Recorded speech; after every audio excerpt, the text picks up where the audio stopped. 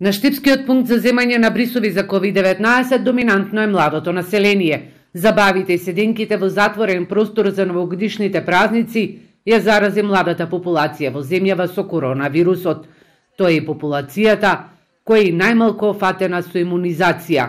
Во Штипскиот регион од 184 активни случаи, над 70% се на возраст од 20 до 35 години. Директорката на Центарот за јавно здравје Штип Марија Димитрова вели дека оваа популација се со симптоми, но со полесна клиничка слика. Иако во Штип не е потврден случај на Омикрон, сепак според Димитрова и епидемиолозите според брзината на ширењето на вирусот станува збор за овој тип на вирус, а во помал број се со делта сојот.